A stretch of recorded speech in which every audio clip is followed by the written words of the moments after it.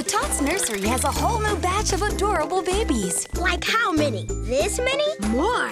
This many? including a very special delivery, Selena the Seal. I just love watching babies get loaded up to be taken to their families. A baby seal is called a pup. Hi, Selena.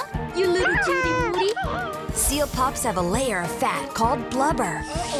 That's not good. Is it? It is. It helps them keep warm.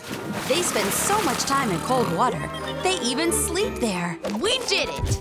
We sure did. Oh, yeah. Uh-huh. The official baby booklet gets the slipperiest stamp yet Selena the Seal. Watch Tots on Disney Junior. Like a rocket through